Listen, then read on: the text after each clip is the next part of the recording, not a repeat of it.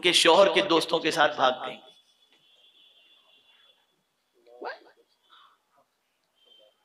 क्यों? बेखौफो खतर घर में आने की इजाज़त। जब आए, आ जाओ। जब आए, आ जाओ। कोई प्रॉब्लम नहीं। यहाँ भी जिस तरह जिस रास्ते से बेहयाई फैलती है, कुरान ने वहाँ कदगन लगा दिया। फरमाया, या आमनु ला तदखुलू बुयूतन गैर बुयूतिकुम हत्ता तस्तानिसु व तुसल्लिमु अला अहलिहा ज़ालिकुम खैरुल लकुम लअल्लकुम तज़क्करून ऐ ईमान वालों अपने घरों में, अपने घरों के सिवा दूसरे के घरों में दाखिल न हुआ करो, जब तक के घर वालों की इजाज़त न ले लो। अरे तू तो मेरा दोस्त है, तुझे क्या इजाज़त? तेरी जब मर्ज़ी हो तब घर में आ जाना।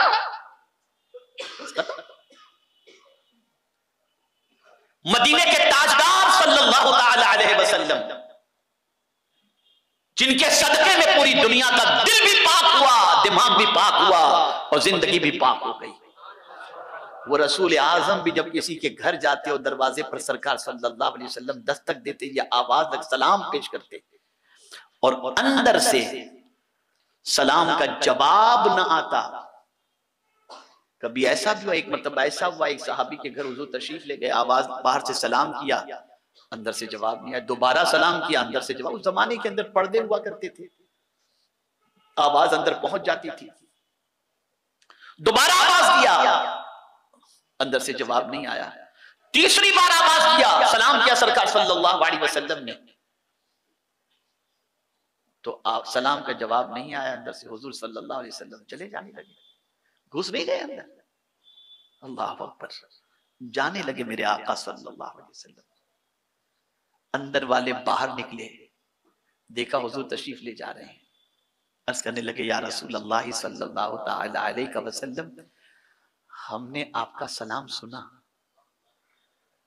लेकिन अगर पहली बार के सलाम में जवाब दे देते तो आप दोबारा सलाम न करते। जी चाह रहा था, आप सलाम करते रहे और हमें सलामती मिलती चली जाए। जब तीन मरतबा आपने सलाम किया तो हम समझ गए कि अब हुजूर तशरीफ़ ले जाएँगे जवाब नहीं सुन, मिला होगा तो तो हम बाहर हाजिर हुजूर तशरीफ़ लाए। अल्लाह खातून जन्नत रदी अल्लाह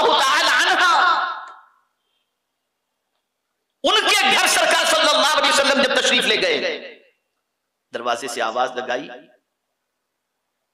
और फिर जवाब अंदर से खातून जन्नत ने दिया।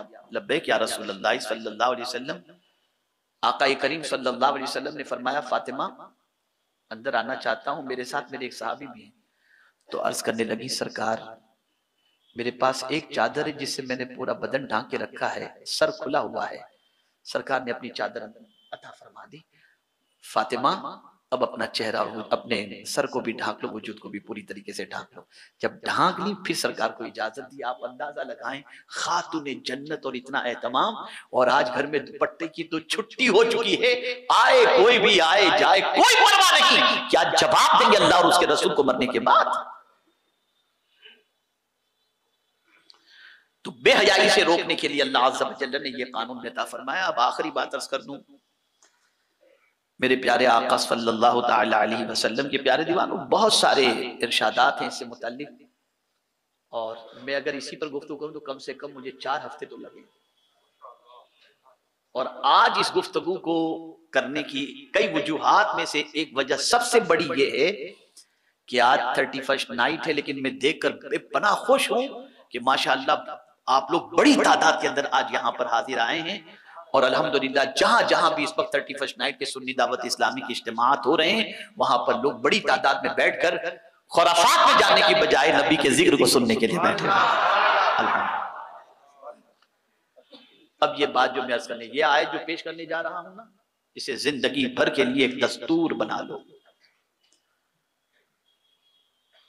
अमल करने की आदत मैं वादा नहीं लेता, इसलिए कि मैं वादा अगर लूँ तो फिर आप वादा खिलाफी करेंगे तो एक गुना तो वादा खिलाफी का होगा और दूसरा गुना अल्लाह के फरमान का ख्याल न रखने का होगा। तो मैं ये नहीं चाहता मैं गुमान करता हूँ अच्छा कि इनशाला इस पर आप अमल करने की कोशिश करें। ये बेहयाई के रोकने का सबसे बड़ा कानून कुरान ने अता फरमाया। यगुद्दू मिन अबसारिहिम व फुरूजहुम। और फरमाया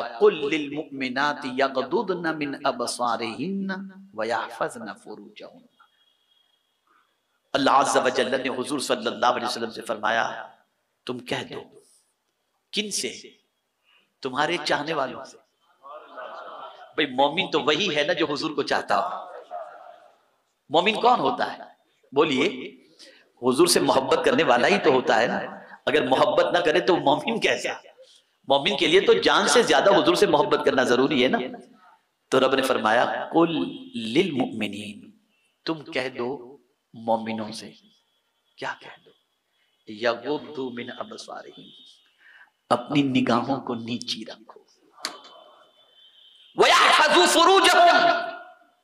और अपनी शर्मगाह की हिफाजत करो। सारे फितने का आगाज़ निगाहों से होता है। इसलिए निगाहों को नीची रखने का हुक्म दिया गया। क्या सिर्फ़ मर्द नीची निगाह रखें? नहीं।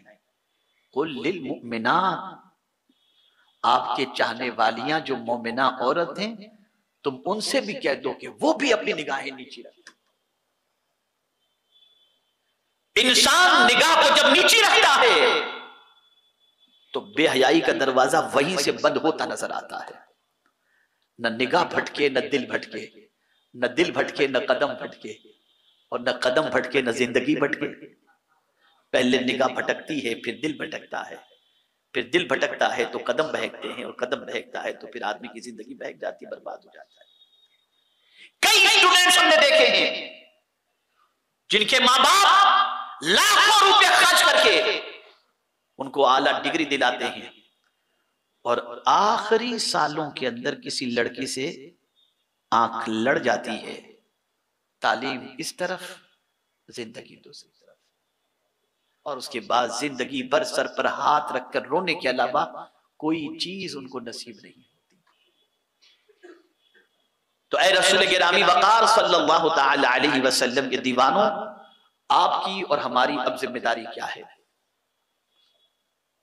घर वालों को कन्वेंस करें। कोशिश करें। ये बेहयाई है। इसका सख्त तरीन आज़ाद है। बचो इससे मत करो ऐसा। कोशिश करो। और कोशिश करना ही काम है। मेहनत करना ही काम है। हिदायत तो मेरे रब के दस्ते कुदरत में। और खुद की निगाहों की हिफाजत करो। निगाहें नीची रखो। इधर उधर तांग तांग न करो। जानते हैं कोई किसी गैर महरम को, गैर महरम को देख लेता है, शहवत की निगाह से, गुनाह की निगाह से। क्या होता है उसका अंजाम? उसकी आँखों में कल बरोज कयामत जहन्नम की सलाखें डाली जाएँगी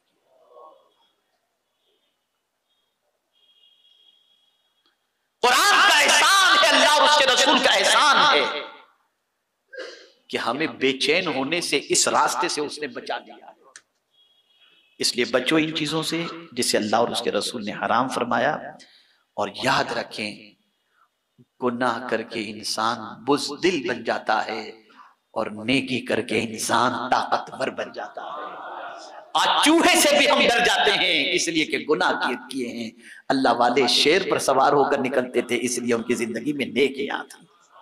अल्लाह ताला आका करीम सल्लल्लाहु अलैहि वसल्लम के सदक़ तुफैल मुझे आपको सबको अल्लाह और उसके रसूल के इरशाद पर अमल की तौफीक नसीब फरमाए और बेहयाई से बचने का ये जितने उसूल मैंने आपके सामने कुरानी पेश किए, अल्लाह मुझे आपको सबको इस पर अमल करने की तौफीक नसीब फरमाए।